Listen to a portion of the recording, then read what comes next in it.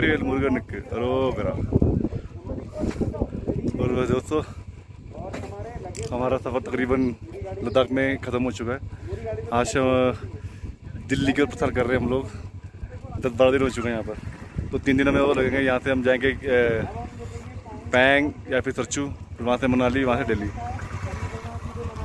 और बहुत अच्छा अनुभव रहा हम लोगों का यहाँ पर। और लास्ट डे तो बड़ा इतना एडवेंचर वाला रहा। जो पिछले छः दिन पहले दस दिन ना, ना रहा हो।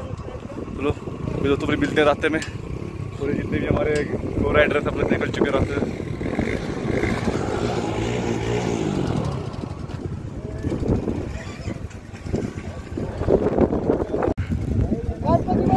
मोरिया! मोरिया। ये हैनले का छोटा सा गाँव जो अब तरक्की पर है। दो तीन साल पहले यहाँ पर इतने टूरिज़्म का नहीं था, लेकिन अब दो तीन साल बाद टूरिज़्म इतना बढ़ चुका है यहाँ पर, और होम स्टे का तो कोई दिक्कत ही नहीं यहाँ पर। और यहाँ के लोग बहुत ही अच्छे हैं, बहुत ही ज़्यादा, बहुत ही प्यार से ट्रीट करते हैं आप लोगों से, बहुत ही अच्छी। और ये गाँव जो है, चारों तरफ़ पहाड़ से घिरा हुआ है, चारों तरफ़। और इसके सामने इधर ये है पोटिला पास, जहाँ हमने कल हमने क्रॉस किया था, वो जो चीज़ दिख है, वो पोटिला पास है।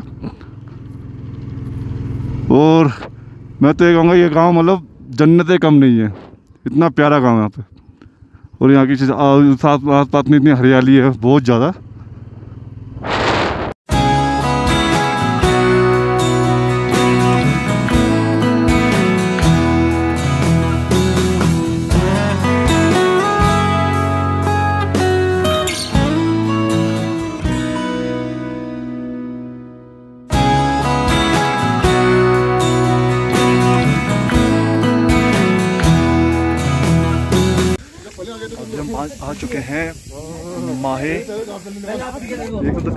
डेढ़ से दो घंटे में हमने क्लियर कर दिया।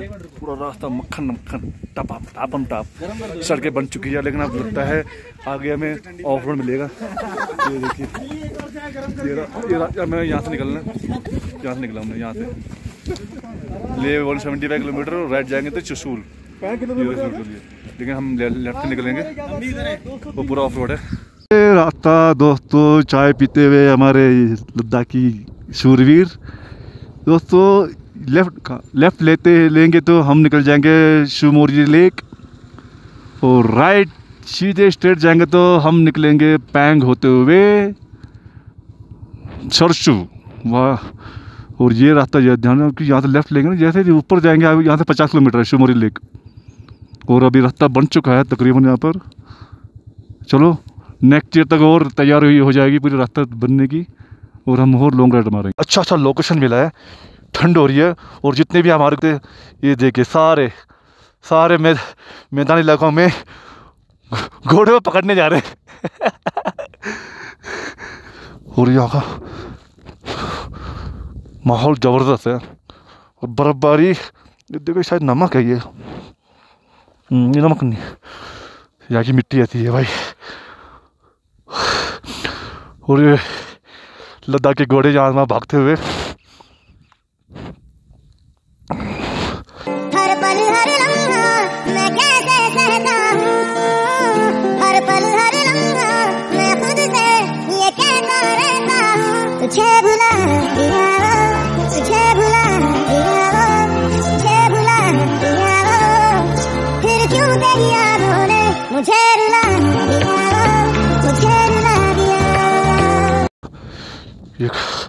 बहुत ही बढ़िया नज़ारा नज़ारा है ये। और आगे आपको दिख रहा होगा, ये हॉट वाटर ज़मीन से निकलता हुआ। और यहाँ पर जा, ध्यान जाना पड़ेगा क्योंकि हर पर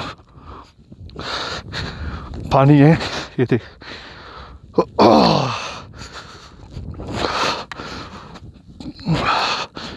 ये बहुत ही प्यारा नज़ारा है यहाँ का।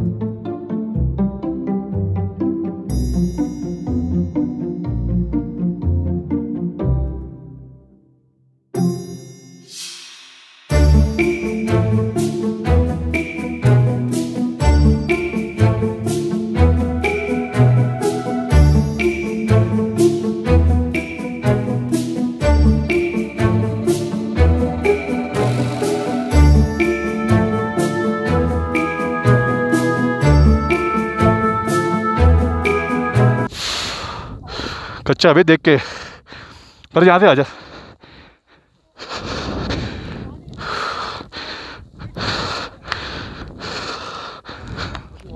हाँ चल चल चल। चल यहाँ से देख दे, ये देख। ये हो गया। ये हो गया।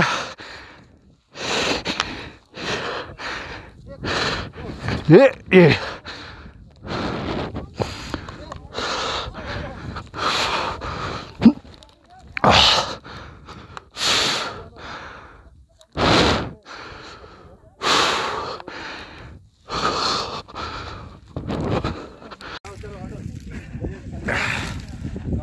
रास्ते में पड़ता पोगा गर्म पानी है तो ज़मीन से ज्वाला की तो निकलते थे। अब ये कितना टेम्परेचर है तो पता नहीं लेकिन मैं जब पानी में हाथ रहा तो इतना गर्म नहीं है कि हाथ जल जाए। लेकिन जहाँ से पानी निकल रहा है। लेकिन बहुत ज़्यादा तक मैंने वहाँ पे वहाँ पे हमने चेक नहीं किया। हाँ, नहीं हम इसको ज़्यादातर हाथ को होल्ड नहीं कर सकते अच्छा। ऐसा भी ज़्यादातर नहीं कर पाएँगे चलने लगेगा नहीं जलेगा नहीं। करो करके देखो लगाओ हाथ। नहीं लगाओ ना आगे हाथ लगाओ ना। उसमें हाथ लगाओ एक बारी।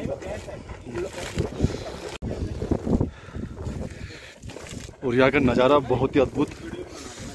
पैसा वसूल। ये ये ये कोई इस नज़ारा देखने के लिए लोग कहते जा रहे हैं गिर कीचड़ में गिर के जूता गंदा करके देखो। जो देखे और एक टूरिस्ट को देखिए अरे है। पूरे कपड़े गंदे हो गए उनके। सबके जूते खराब हो रखे। ऐसा एडवेंचर और कहीं नहीं मिलेगा। ऐसा रहा सांस ले रहा ये। ये पूरा पैसा का टूर हमारा ये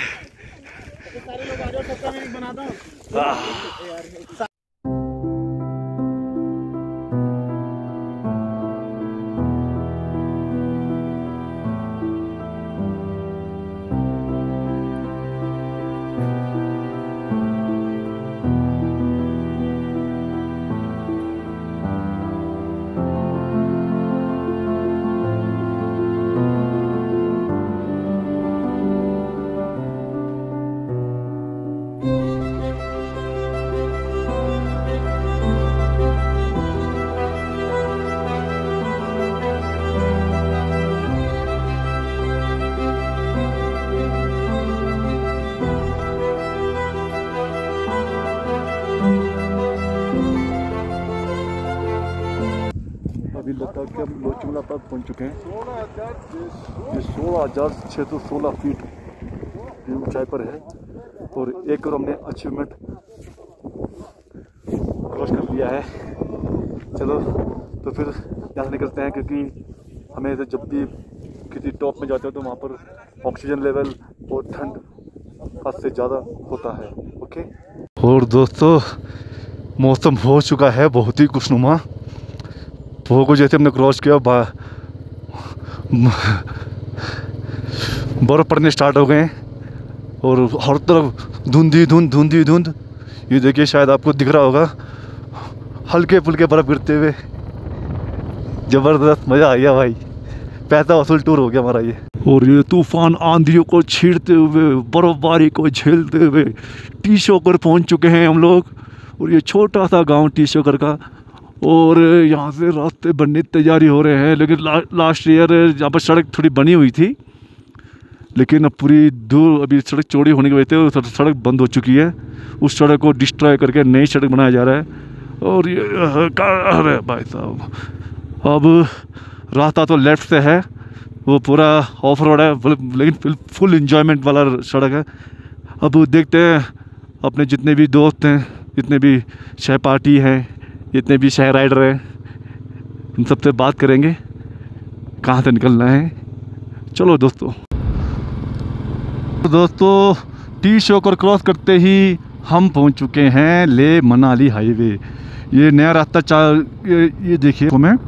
ये नया रास्ता शुरू चालू किया। अभी इन्होंने सड़क नई सड़क बनी है।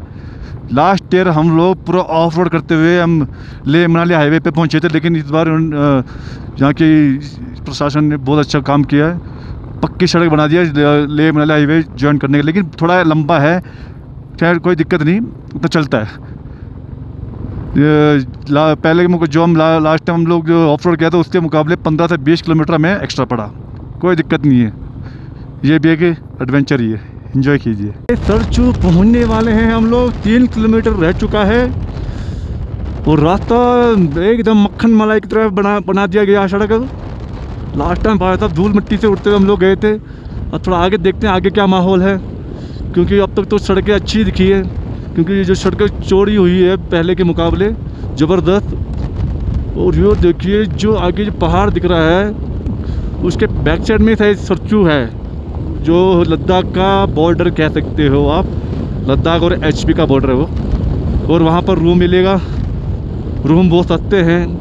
अब देखते हैं लास्ट टाइम तो सस्ते मिले थे, इस टाइम इतने महँगे मिलते, कुछ कह नहीं सकते।